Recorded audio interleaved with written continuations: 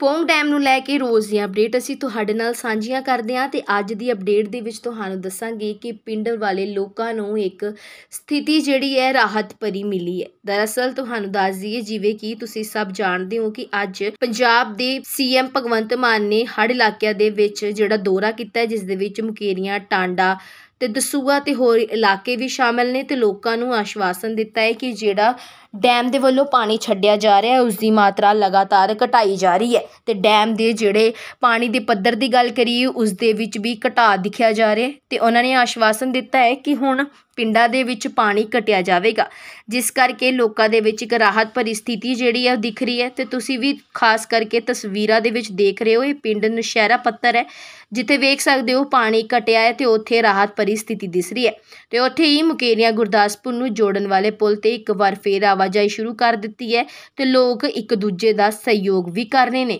ਤੇ ਲੋਕਾਂ ਨੂੰ ਬਚਾਅ ਕਾਰਜ ਦੇ ਲਈ ਐਨਡੀਆਰਐਫ ਦੀਆਂ ਟੀਮਾਂ ਲਗਾਤਾਰ ਸਹਿਯੋਗ ਕਰ ਰਹੀਆਂ ਨੇ। ਇੰਨਾ ਹੀ ਨਹੀਂ, ਬਲਕਿ ਲੋਕ ਵੀ ਇੱਕ ਦੂਸਰੇ ਦੀ ਮਦਦ ਕਰਦੇ ਦਿਸ ਰਹੇ ਹਨ। ਜੇਕਰ ਪੋਂਗ ਡੈਮ ਦੀ ਗੱਲ ਕਰੀਏ ਤੇ ਪੌਂਗ ਡੈਮ ਦੇ ਵੱਲੋਂ ਵੀ ਪਾਣੀ ਲਗਾਤਾਰ ਘਟਾਇਆ ਜਾ ਰਿਹਾ ਹੈ। ਇੰਨਾ ਹੀ ਨਹੀਂ, ਬਲਕਿ ਸਥਿਤੀ ਕਾਬੂ ਦੇ ਵਿੱਚ ਲਿਆਉਣ ਦੀ ਕੋਸ਼ਿਸ਼ ਕੀਤੀ ਜਾ ਰਹੀ ਹੈ। ਇੱਥੇ ਹੀ ਉਮੀਦ ਕਰਦੇ ਹਾਂ ਕਿ ਹਿਮਾਚਲ ਦਾ ਮੌਸਮ ਠੀਕ ਰਵੇ ਕਿਸੇ ਵੀ ਕੁਝ ਅਜਿਹੀ ਘਟਨਾ ਨਾ ਹੋ ਜਾਵੇ ਤਾਂ ਤਾਂ ਜੋ ਦੁਬਾਰਾ ਜਿਹੜਾ ਪਾਣੀ ਦਾ ਪੱਧਰ ਹੈ ਉਹ ਵਧਿਆ ਜਾ ਸਕੇ। ਅਜਿਹੀਆਂ ਰੋਜ਼ ਦੀਆਂ ਅਪਡੇਟਸ ਦੇ ਲਈ ਤੁਸੀਂ ਬਣੇ ਰਹੋ ਤਲਵਾੜਾ ਦ ਸਿਟੀ ਬਿਊਟੀਫੁਲ ਦੇ ਨਾਲ।